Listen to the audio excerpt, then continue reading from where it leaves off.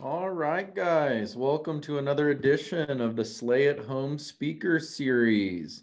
You can tune in every Thursday night this season at 6 p.m. We've got a wide variety of awesome topics and great panelists, all related to traveling in the backcountry. So, uh, big, you know, educational program that we're doing this season, and uh, lots more great topics. We are taking a little break uh, for Christmas coming up. So tune in again in January. Uh, we'll have a whole another list of great topics, uh, really focusing on terrain discussions around the United States and even some other great places. So make sure you tune in. You can follow all the different Slay at Home speaker series. You can watch our different episodes. They've all been recorded, so you can check those out on our website um, westonbackcountry.com. You can also check out our Facebook page, Weston, there on Facebook, and it's got all of our different uh, videos recorded there. So looks like we got a lot of great uh, people tuning in. We have a ton of Colorado here tonight. I'm seeing New Hampshire, Utah, even saw Pennsylvania, and, and we've got a, another great crew from our fine friends in the Great White North up in Canada. Thanks again for tuning in this evening. We've got a great presentation for you this evening. Um, tonight and, and, every Slay at Home Speakers is sponsored by the fine folks at Weston. We're based here in Minturn, Colorado, small um, outdoor backcountry product producer. We make skis, split boards, uh, snowboards, really kind of known for our split boards and, and our skis are, are definitely um, an up and coming product. So check out that stuff again on our website. The other major sponsor for this evening is Silverton Avalanche School, um, one of the longest running avalanche schools in the United States. Um, these guys do everything. Um, great, great program down there. Our topic is the human factor. So we have discussed a variety of different uh, topics this season from where to get your gear, what kind of avalanche education you need, and now we're kind of getting into you know the last and arguably the most important thing that you need to be thinking about if you're traveling in the backcountry and that is you know how you as a human come into play. What are the things that you do um, that you really need to be looking a little bit closer at if you're going to be traveling in avalanche terrain? So heuristic traps are, are kind of what we re- refer to those things as but um, you know i am your host ben. I'm the brand experience manager here at weston I run all of our educational programs and, and also have the great privilege of working on our design team. I also get to manage our team of great professional mountain guides. So we have, you know, arguably the biggest team of mountain guides um, in the nation, you know, that I know of. And that's really who we try to focus on. So Michael Ackerman is, is one of our amazing guide team members, potentially even one of our first guides that we had, um, you know, on a Weston board and in our program. And he is just, you know, arguably the man in backcountry education here in Colorado. And um, he's just been a vital asset to us since day one. So, Michael, you know, thanks so much for tuning in th- this evening and help us helping us out on this webinar. I know we've got a a lot of excited people to kind of learn from you. Um, and so I'll kind of kick it over to you now, buddy. And just again, thanks so much for doing this. We're, we're stoked to have you, man. Awesome, Ben. Thanks for having me and everybody out there. Uh, this is truly an honor. This presentation tonight is going to be about the human factor. And for me as an educator, it's one of the most exciting, uh, if not most fun topics to riff about. So I'm excited to talk at you for a little bit and then hopefully pollinate your thinking so that we engage a little bit at the end uh, of this presentation. So to that end, uh, just an agenda uh, for this evening. Uh, I'm gonna talk a little bit about the avalanche triangle. And in doing that, I'll talk a little bit about myself and Silverton Avalanche School. Uh, we'll jump right into the human factor, what that is, uh, and heuristic traps, these subconscious behavioral pathways that are both good and bad uh, typically bad when we have ourselves in terrain of consequence and we act impulsively. And then we'll talk about some tools. I like to think of them as guardrails uh, that we like to utilize to keep ourselves from falling into the pitfalls that we might uh, commonly encounter as being a creative, silly ape. Uh, and then we'll open it up for a little generative dialogue at the end here. So let's just jump right into it. Uh, the idea, the basic premise for this, and if you're offended, I, I guess you should just log off now because it's not going to be a good night for humans. Uh, humans are are silly, emotional, ego-driven creatures uh, who do what they want to do, uh, say what they want to say, uh, often in spite of very objective uh, inputs and data. And we all do dumb things. Uh, we all make these mistakes. That's uh, what makes us human. The interesting uh, kerfuffle that we find ourselves in is when we do these silly human tricks in terrain of consequence, uh, very quickly we could have a problem on our hands. That next slide, Ben. So, uh, a little bit about me. Um, I have been in avalanche education for uh, a bit now, and it's interesting that, that, as advanced as we get with 21st century tools and techniques and uh, technologies, we always ground ourselves with kind of the learning, understanding, and wisdom from the past. So I want to start us this evening by going back in time, like we do at the Silverton Avalanche School, to the Avalanche Triangle. And the Avalanche Triangle is a basic uh, four part graphic organizer. On the outside of the Avalanche Triangle, we've got snowpack, weather, and terrain. Uh, weather is what weather is. If it's snowing, we say it's snowing. Uh, the snowpack can present with problematic weak layers or melt freeze crusts, things that are very observable and objective. Uh, terrain, the most important thing we can control as recreationalists. If safety and stability is the question, terrain is always the answer. This is very objective stuff. So if we can look at the backcountry and we look at the mountains very objectively and use a tool like the avalanche triangle to make decisions, to uh, do route finding, to conceive tour plans, how come we can go out in the face of objective inputs and still get into trouble? It's because of that circle in the middle of the triangle, the fourth consideration, and that's us, the humans. And so, as we mentioned before, we're going to do what we want to do, and we're going to think what we want to think. The problem is in the mountains, Mother Nature is always going to bat last. And she's often fond of hitting a walk off in the ninth inning, just when you have the victory all sewn up, or at least you think you do. We don't get things right out there. We just don't get it wrong enough. And we can develop a complacency. We can develop subconscious beliefs, attitudes, opinions, uh, behavioral pathways based upon negative feedback loops. When I ski a slope, I don't ski a slope and a little woodland elf jumps out of the trees and is like, Ack, you got that right. What happens when I get it right? Nothing happens. And so I'm building this bedrock of understanding that could have been luck or just missing a likely trigger point. Uh, so we start to imprint these behavioral pathways, and there's a reason why we do that. This touches upon these ideas of heuristics. So in 2002, Ian McCammon, he was a NOLS instructor, avalanche educator, and now he's uh, become really one of the one of the uh, I'd say leaders, thought leaders within the world of avalanche education, uh, kind of in the more contemporary nowadays, 90s, 2000s, and 21st century. And he released this paper in uh, 2002, which introduced us to uh, thinking about heuristic traps uh, as the, the main driver of the human factor. And it ultimately led to some tools we're going to look at but first, we'll start with what are heuristics? Heuristics are subconscious behavioral pathways that we use to make our complex, multi-dimensional lives more manageable.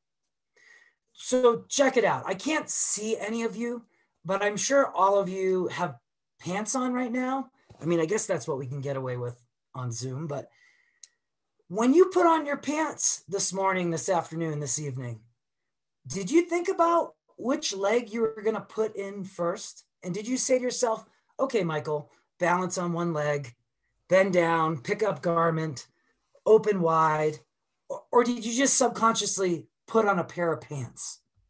That's a heuristic. That's a behavioral impression that we use daily to make our lives easier. Imagine if you had to think about everything you were going to do pick up pen, open notebook, it would be exhaustive and we would get one iota of things accomplished. We'd be uh, marginally as efficient as we are now uh, in our modern day lives. And this all comes from uh, people that we are related from, no matter what race, what color, what creed, we all came from uh, individuals that were much more connected uh, to the, themselves, the planet, their tribe mates. And if they had to think about the woolly mammoth coming into the cave, they had to think about bend down, pick up rock, reach arm back, throw at mammoth. If they had to think about all of those actions, uh, your DNA, like you wouldn't be here today. They developed these subconscious behavioral pathways to react and be proactive in the face of an invading predator. And if they didn't, they and their tribe mates didn't exist to make you. So you're here today because the heuristic pathways that your ancestors imprinted served you well. There's this funny thing in avalanche education where we're like, avalanche is bad. But the reality is, an avalanche is just a natural process. It's neither good nor bad. And it's when we introduce humans into that natural process that we can tend to get all judgmental and we're like, oh, it's bad because it hit me or it took my partner or far worse. That's the same thing with heuristics. Heuristics are neither good nor bad. Uh, we wouldn't be able to exist as the successful species that we are uh, if heuristics were not of benefit to us. But again, utilizing heuristics, impulsive, reactive uh, behavioral pathways in terrain of consequence uh, could get us into trouble.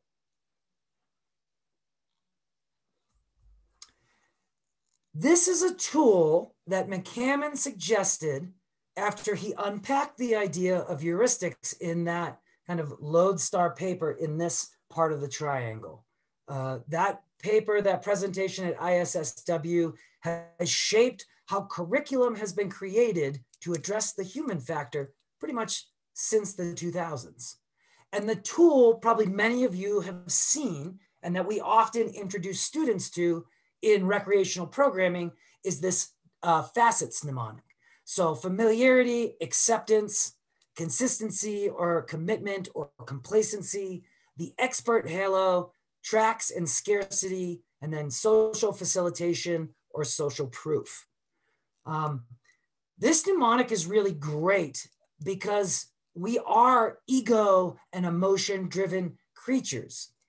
And if we can pump the brakes and get ourselves to think about what am I doing right here that's going to influence what happens next, facets is a nice little checklist to run through mentally to uh, pump the brakes on the human factor. So let's unpack these a little bit if you haven't seen them or check back in with these ideas uh, if you haven't seen them in a little bit. So the acronym is FACETS.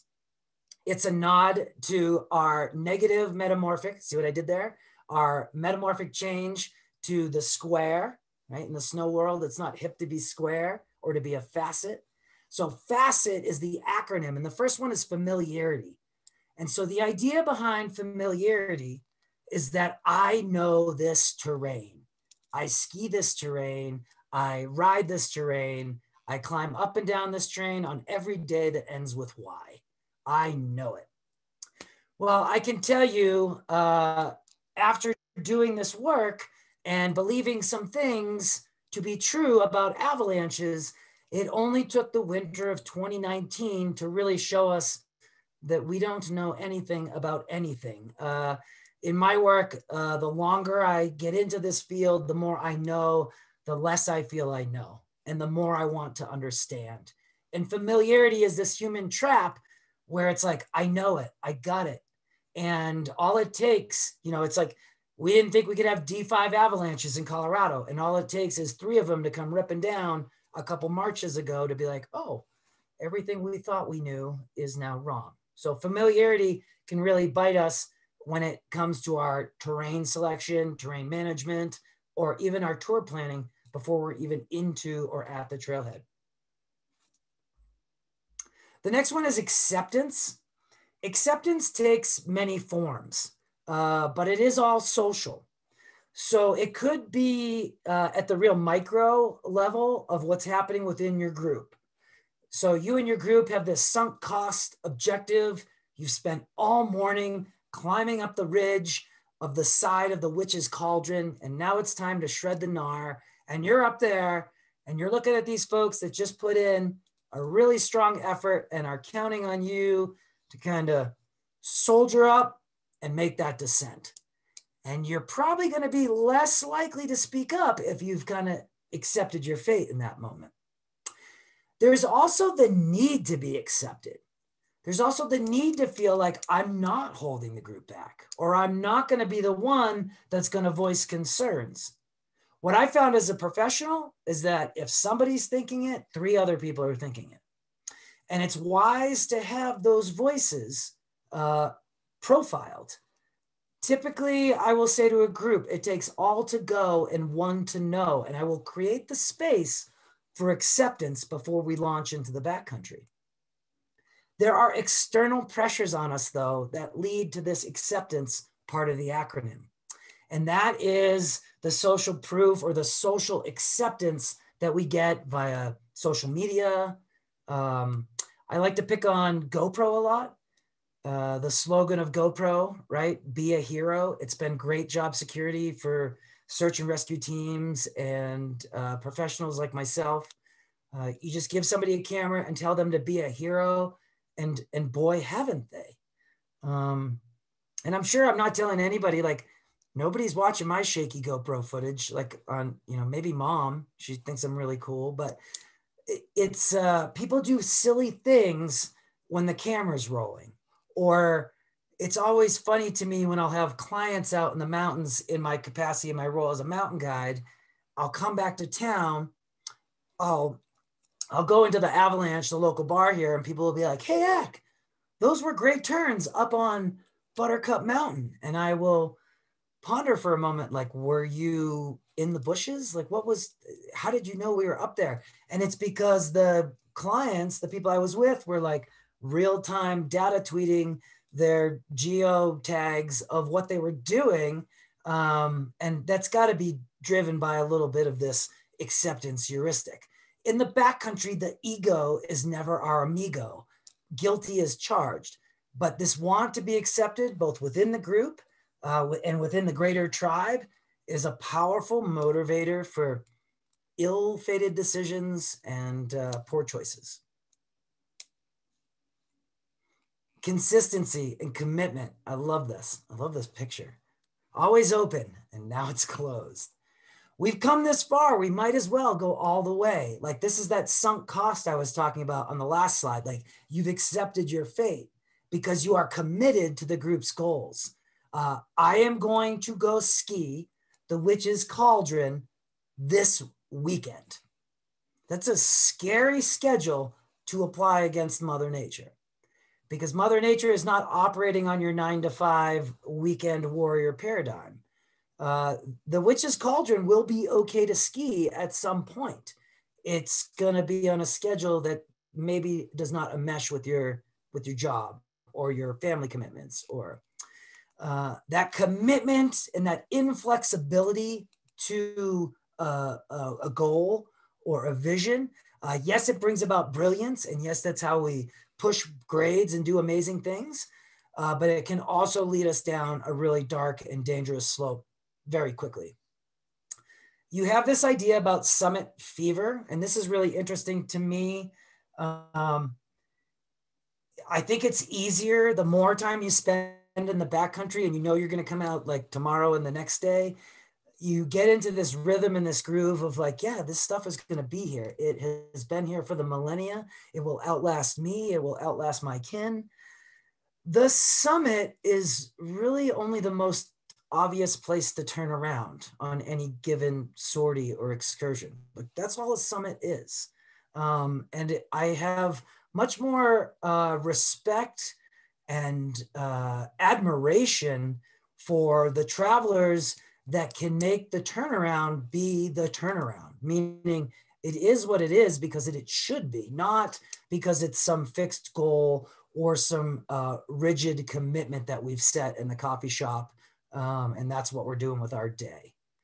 Um, and the consistency ties into this. It's another way to shape the C in the acronym of it touches on the familiarity, but it's the consistency of doing something over and over again that it also leads to the third C. We, I don't have this written on the slide here, which is also complacency. Um, so we get familiar, we augur into consistency or a perception of things that are the same all the time, like Denny's is always open. And then that leads to complacency, and complacency is what kills us in the backcountry. the expert halo. So here he is talking tonight.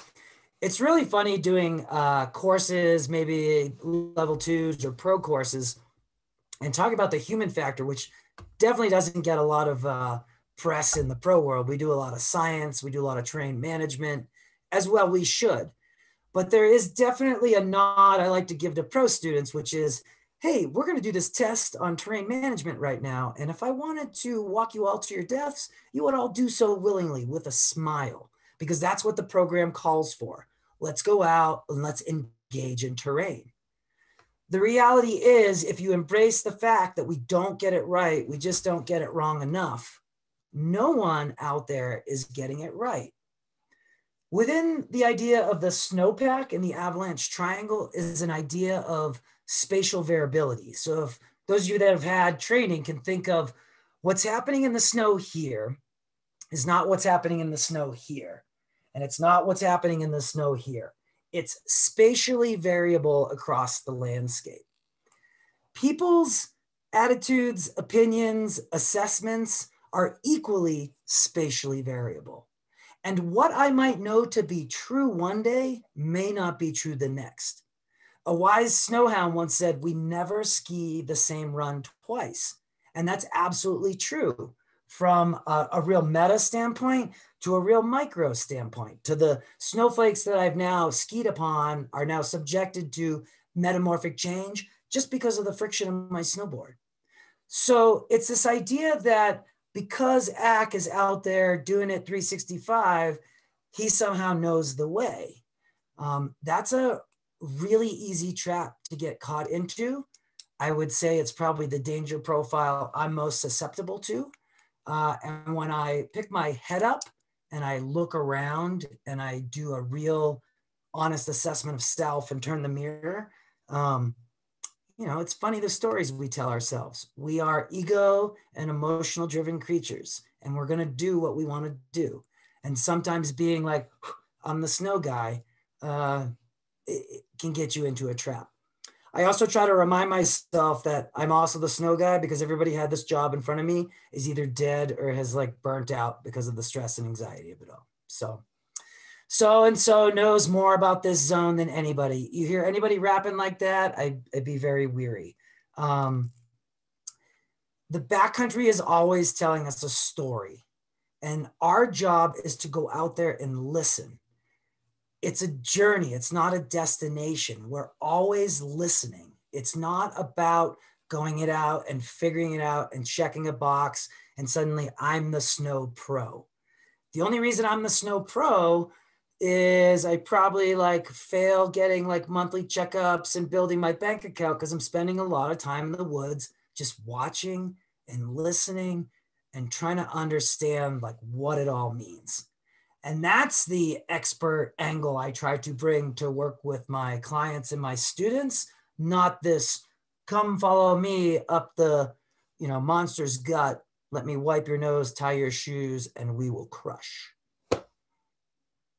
This is so funny not talking to anybody but the screen. So tracks and scarcity. Puppies, who doesn't love puppies? Man, let's get the goods before somebody else does. I'm sure there's not a person on this webinar who has not experienced the joy of no friends on a powder day. And there is this weird uh, ego fueled, mostly internal competition that we play with ourselves to get first tracks. I used to think this was really funny uh, uh, when I was a ski patroller. You would, you know, people would jostle and throw fisticuffs to be first in line or leave their kit there and argue whether or not that's like etiquette or not or, or whatever. And then I'm like, but, but patrol is getting first tracks, you know, since we got here at 4 a.m. And then the dirtbag that hiked up at 3 a.m. got first tracks before us all. So it's just like a paradigm. And I think about this idea of tracks and scarcity, and I got to get it before somebody else as uh, a power and control dynamic.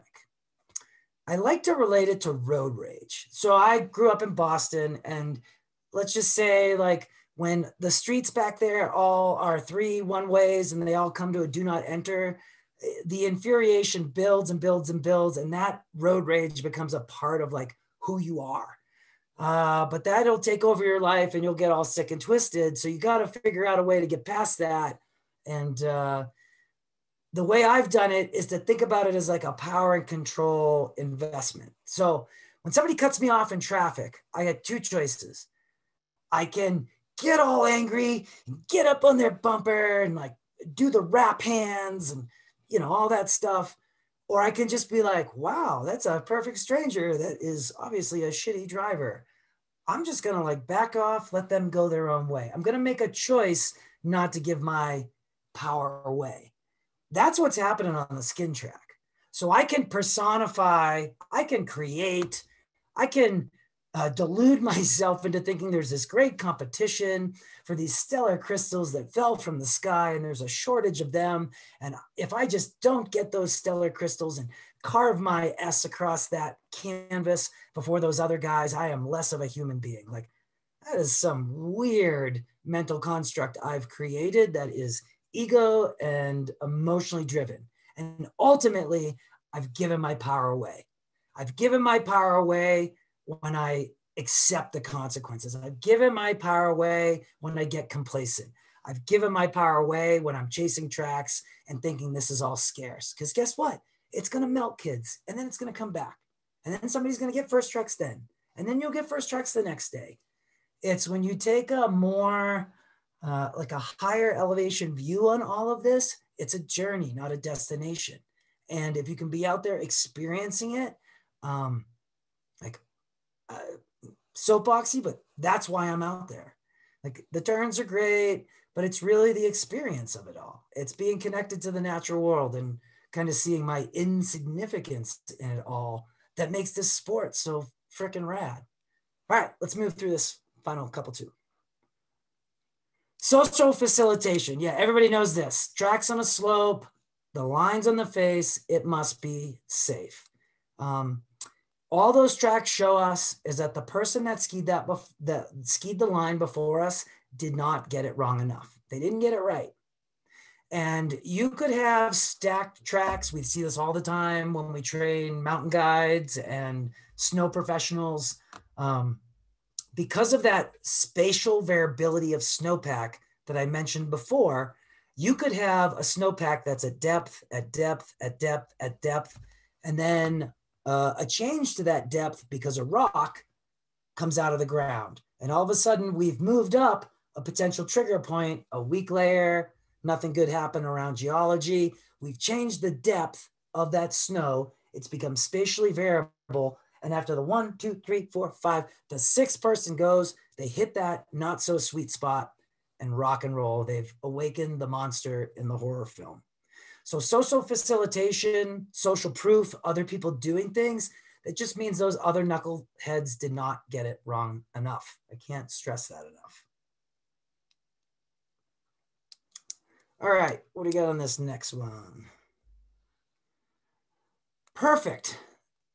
That's facets. So facets is this tool that we use to very quickly check in with uh, what's going on uh, it's been designed uh, to use when the defecation is hitting the oscillation. So when it's blowing sideways and it's hard to hear your partner, we can very quickly run through a checklist. What's interesting about facets that in the very same paper that McCammon gave us facets, he introduces some longitudinal study and some data that although humans do have these tools, the studies and his research show us that we will not use these tools or we are apt not to use these tools. So what I'd like to take us into uh, for a more generative uh, kind of critical thinking part of the program here tonight is I want to set the tone with asking everybody on the webinar tonight to think about the guardrails that you're using, you as a recreationalist. What guardrail, what tool are you using to uh, protect against the human factor. And you can think about it in a couple different ways. So there are traditional tools. So if you've taken like a AIARE 1 or an AIARE 2, you learn how to use the DMF and generate inputs and create outputs and use that structure to ride safely and keep your group safe. Uh, there's also things that are more uh, decision making at different decision points, things like the ALPTRUTH, uh, acronym or out of Canada, the Avaluator. Specifically to the human factor, we've looked at facets tonight. Um, if anybody is a member of the AAA, the American Avalanche Association, uh, Lynne Wolfe just, just posted uh, on their socials in the last 48 hours a link to Ed LaChapelle's uh, article, which is called The Ascending Spiral. It is another uh, one of those uh, just hallmark works within the field of uh, kind of human factors. And I'm not going to try to teach LaChapelle tonight, but if you get a chance, check out the ascending spiral and you can just Google that. It was part of the Avalanche Review, the American Avalanche Association. And if you're connected with them on the InstaWebs, there's a link right to the article.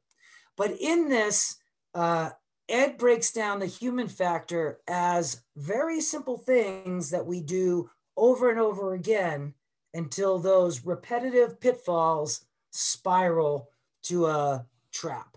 So we're like in the business before we realize we're in the business. And so in that article, he talks about liking the DeVito test, which is another uh, kind of evaluative tool rubric. As professionals, some of you may have been exposed to the strategic mindset model. So as a professional, when I'm putting out an operational plan in the morning, I'm going to set a mental guardrail for myself within the context of my operation. It's called strategic mindset. Oftentimes, when we're working as avalanche educators, we're entrenched in assessment, meaning we're always going out and we're always looking at things, and that's kind of what we do. If you end up like in an avalanche education course and it ends up being like hucking your meat off the eliminator, a much different strategic mindset that, than I'm used to applying.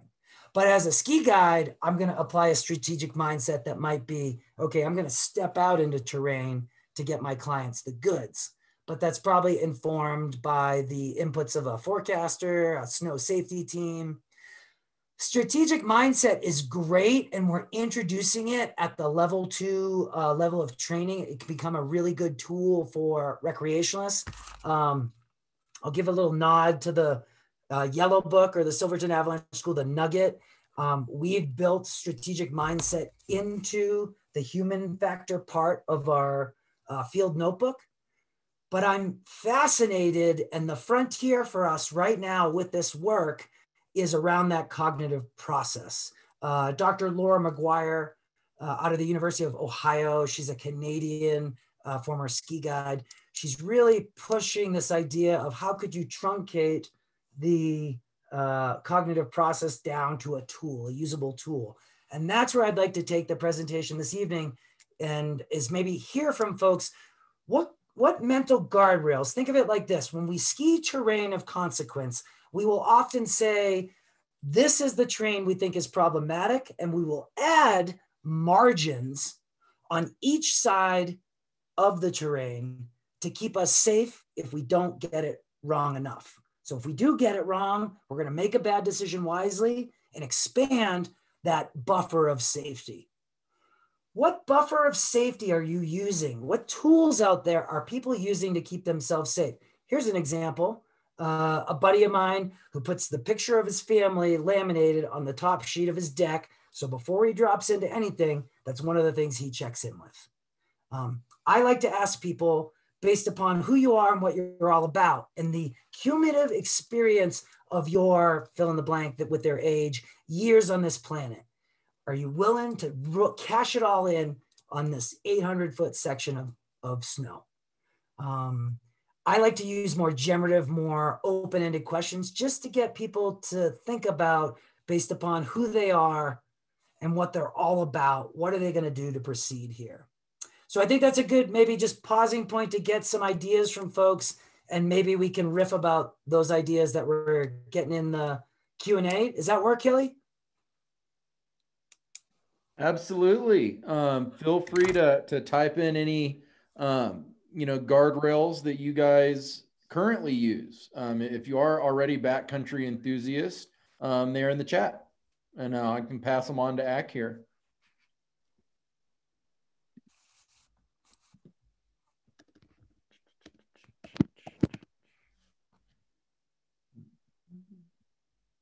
yeah. Sean Eno says he does the pencil test to see uh, if his uh, if a pencil will fit in his butt cheeks because it's like the human hardness. right. Yeah. Um, I, oh, I see Matt's comment there. I visualize the slope sliding. Um, I think many of you guys know, uh, you know, uh, definitely like a Lodestar Light uh, that came before me at Silverton Avalanche School, Doug Krause, and a contemporary of mine nowadays, uh, Howdy Ryan Howe. These guys love to frame risk assessment and human factor uh, in terms of like how much you got on the table, how much do you have in, uh, what's your bet, what's your bid, are you willing to go all in on this? Um, and then when you start to hedge your bet a little bit, it's actually kind of a barometer to be like, oh, I'm thinking about things, either spoken or unspoken, and I should check in with that. That's a that's the canary in the coal mine for the human factor.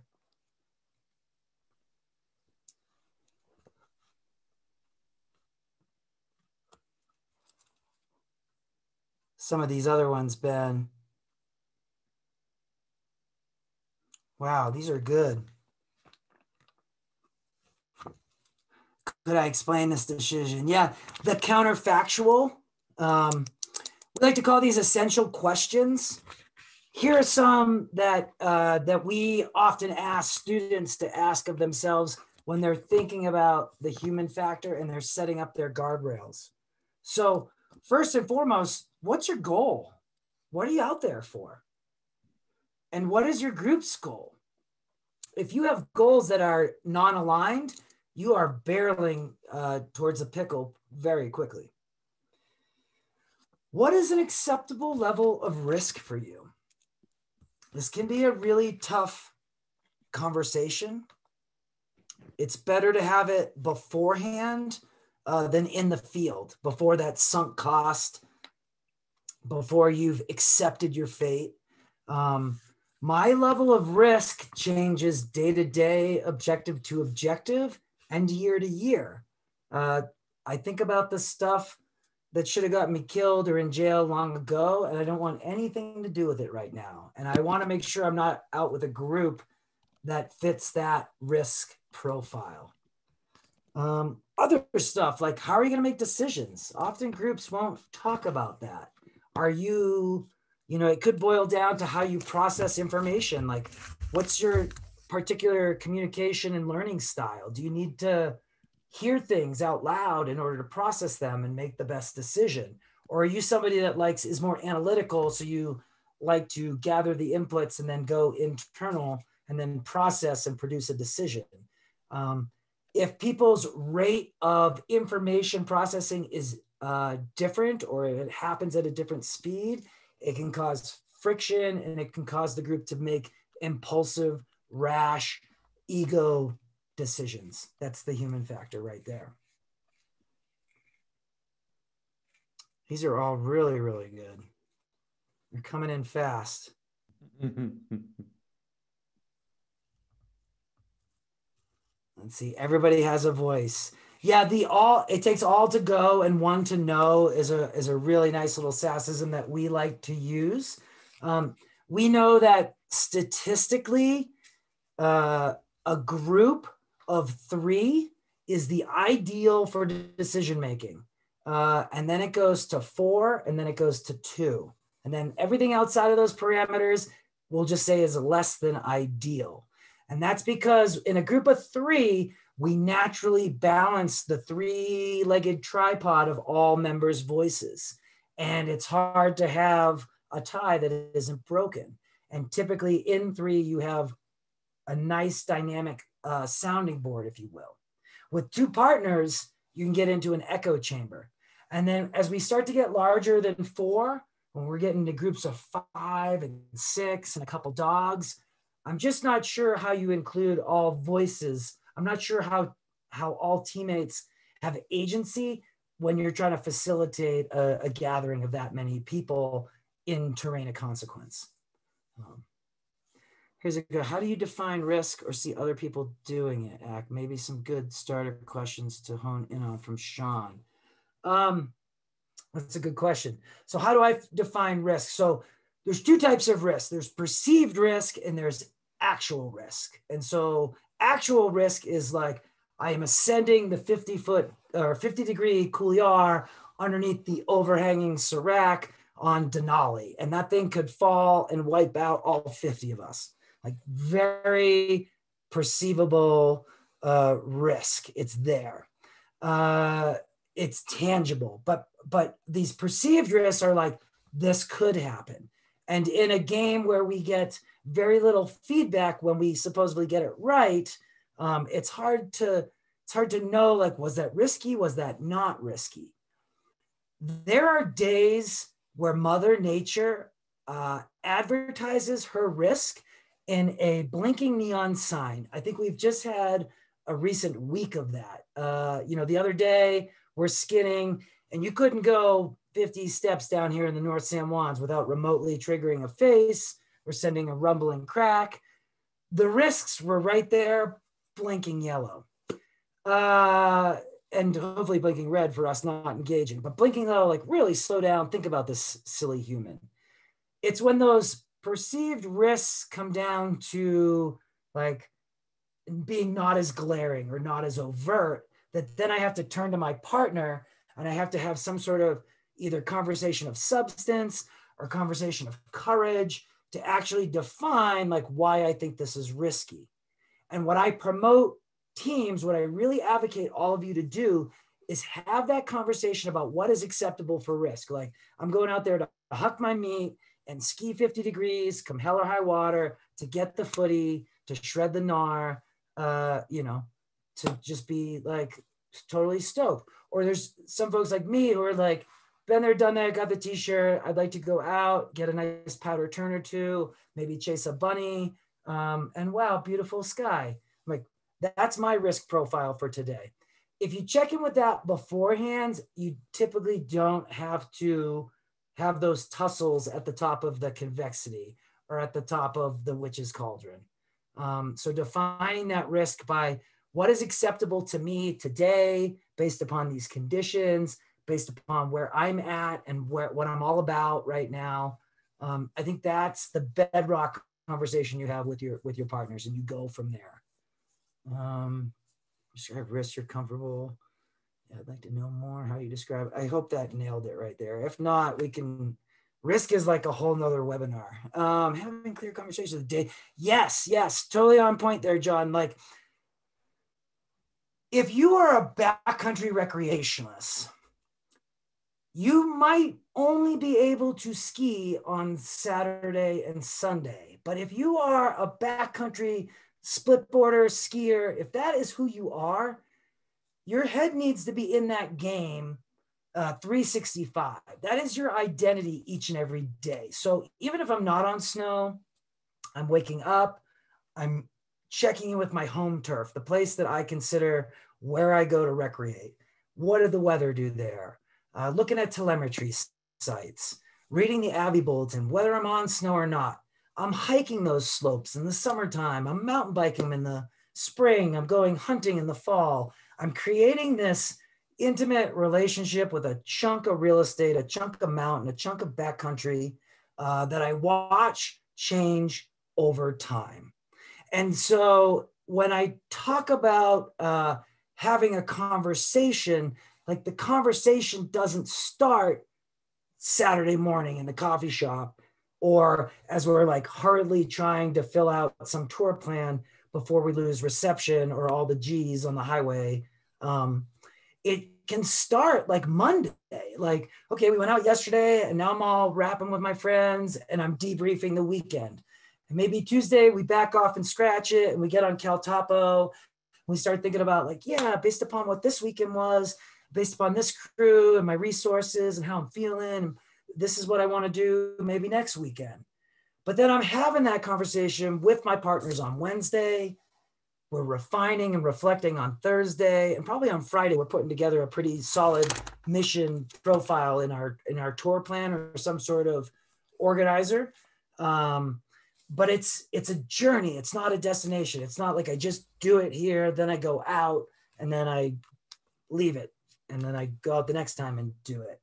That's a real like you're just rolling the dice. Um, this sport that we all do, or if you're getting into it that you want to do, for me, that's been the, the greatest gift of it is that it is engagement and it's stimulating all the time. Um, I'm always thinking about snow. I'm always thinking about the mountains, always thinking about the weather, always thinking about the terrain. And I'm always thinking about like what I want to do and what Mother Nature wants to do to me in it all and um, like that's to me the real gift of of engaging in this. And if you make that your rhythm of your business uh, even if you're only getting out once or twice you're going to be in it you're going to be connected to the tribe. Um, it, it's like a blessed gift i think in 2020 which not a lot of cool things are going on. All right. Um, i don't know. Ben what do i got here? Any any good ones i missed or that's coming up. let's uh, jump in the Q and A real quick too. I think we got one there. Oh, Sean, that was Sean. How do you define risk or see other people doing it? You know, and how do you communicate that to your partners? You know, for me, I'm I'm constantly talking, you know, um, to my partners, and we're discussing the snowpack. You know, did you hear that whomp? Did you, you know, uh, uh did you feel that weak layer? And so at the at the end of our day it, it's it's not a surprise to anyone the decisions that we're making you know? It's like oh we've you know that's the third red flag we've seen today. It shouldn't be a you know like where are you coming from with this issue? Like it's like oh yeah like we've discussed that three times. We all saw this coming right? Like you were saying yeah. if you're thinking something three three other people probably are too and it's just i think you know for me it's just being able to communicate with those partners and knowing that i'm out with a good crew of people and that i i have that voice. And if if, if i don't feel comfortable writing something i'm not gonna you know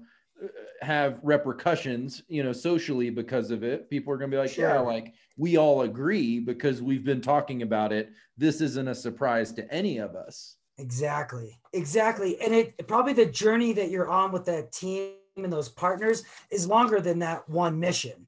And if you can, and if you can see it as that journey, um, that's that's the that's the real give back to you. You know, it's it's almost self recharging. It's like, okay, we didn't get it because we went out and we experienced this. Now we know this. We can more comprehensively plan around this. And when we encounter it next time, we'll be better equipped.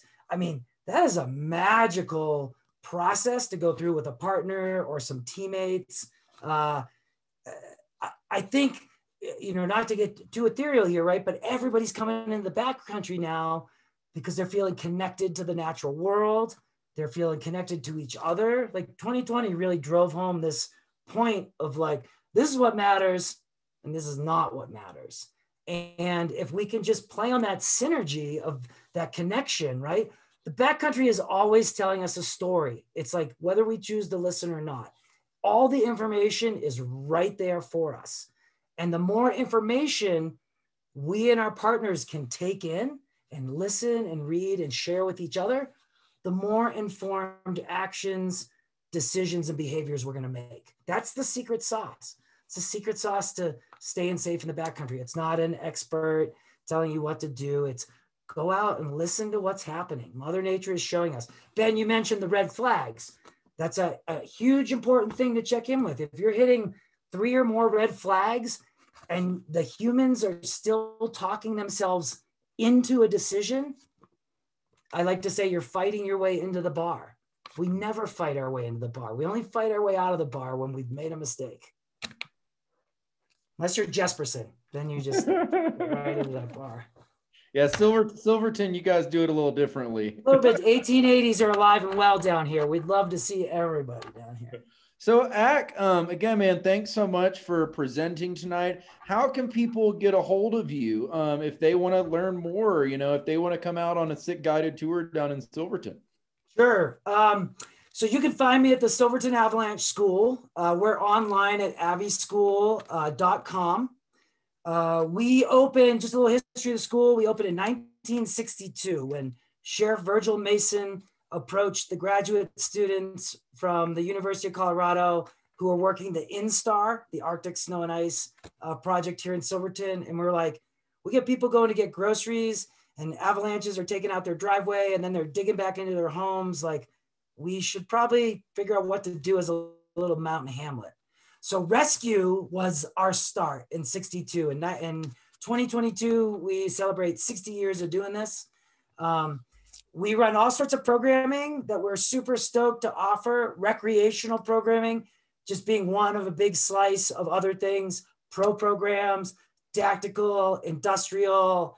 Um, you know, a typical day for me is rapping about stuff like this and then hustling out and forecasting either for the railroad or the mine, uh, and then coming back and doing some sort of like weather obs or data dump with pros. So as an educator and as a school, it's super stimulating.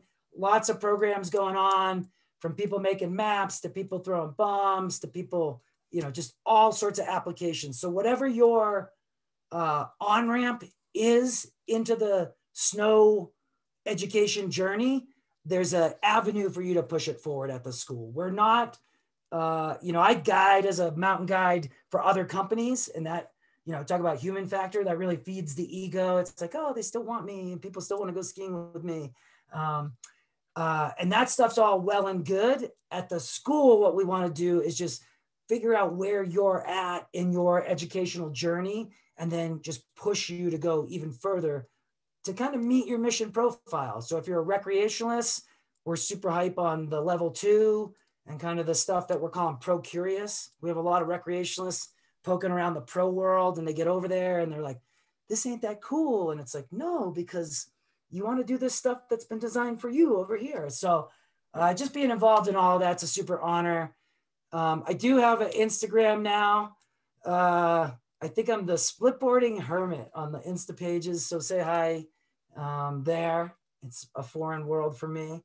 Yeah, that's me it's a super honor. I know people get the holidays coming up, and we've gone through a lot of these. I've watched a couple of these slay at homes, and uh, just kind of coming in here before Christmas. Feel super honored. Thanks, Weston, having me, and come down and see us.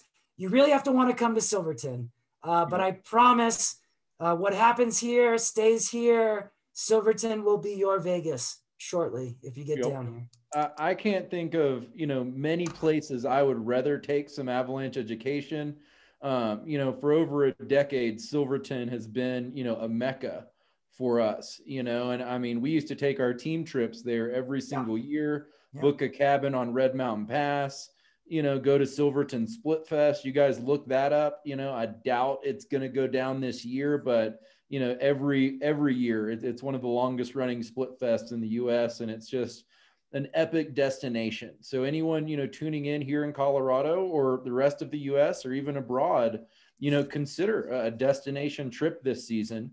Um, Silverton is a wonderful small community, um, plenty of room to socially distance. Um, and I'm sure that they would welcome, you know, the business there in town for sure. 100%. Um, 100%. We'd love to have you in the Caldera. There's a bunch of great organizations here combine some guiding with some Avi Ed, with a day at the mountain. I mean, it truly is a bucket list locale. Just be really safe driving here. Yep. Oh yeah, and there was the million dollar highway, isn't is I mean that's one of the most beautiful roads I've ever seen. They've most got beautiful, most dangerous. I love it. Oh. More yeah, more job security for search and rescue. Yep. Yep. yep. Well, all right, brother. Any last minute questions you guys have? Let us know. We've got Ackerman here for another few minutes, um, and we will kind of sign off here shortly. But let us know if you got any last minute questions here uh, we will kind of keep answering them. And then if you know you don't have any other questions, just uh, make sure you tune in. Our next episode, I believe, is January seventh. We've got a really cool discussion with some local authors. Um, Ackerman mentioned Josh Jesperson, another Silverton Avalanche school guide, also the world record record holder for summiting and skiing all of Colorado's 14ers. He'll be joining us to discuss a little bit um, about his local projects, including Journey Lines, um, which is a really, really cool project he's been working on for years. We've also got Fritz Sperry and Josh Kling, two, two more of our amazing Weston writers to discuss their books. Fritz is a great local author. Um, his series Making Turns, I own every one of. Um, really, really cool guidebooks. And then Josh is the guy who, you know, helped write the book on Silverton. Um, so really cool beacon guidebook there, and just three three more amazing personalities, really cool panelists. We're we're really stoked on having and. Um, again, Ackerman, thanks so much, brother. It is it is always a pleasure. We you are um, just a great educator, and we encourage anyone, um, you know, get, get, a hold of this guy if you can if you can get him. Um, otherwise, get get a hold of Silverton Avalanche School um, and get down there. It's just an epic epic place, and they are just the tops or when it comes to avalanche education in, in our community. So we're stoked to have you. And yeah, thanks again for tuning awesome. in. Let's see if I got any last minute questions. Pretty much everyone just saying how awesome you are. Oh, appreciate it, everybody. Oh, appreciate oh, yeah. It says one last. Oh, I got one last one in the Q and A. Hold on. Bring. Boom. Oh, now I can see it. Whatever you just did there. Yeah. You got it. It says, you know, how does your acceptable acceptable risk level you're willing to take change if you're alone? Right. yeah.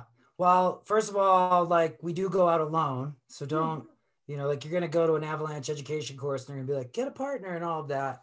Um, but the reality is, to speak honestly to that, we do end up going alone.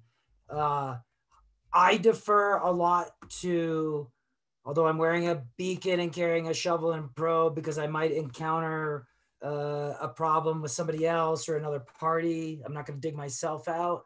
Um, I try to operate like that stuff doesn't exist for me.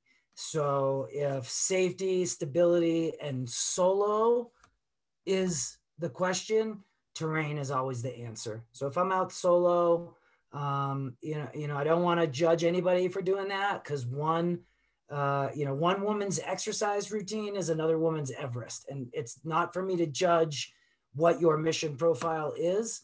Um, but if you are going to rock that, terrain, terrain, terrain, terrain, it's like 28 degree hippie soul turns all day with a plan.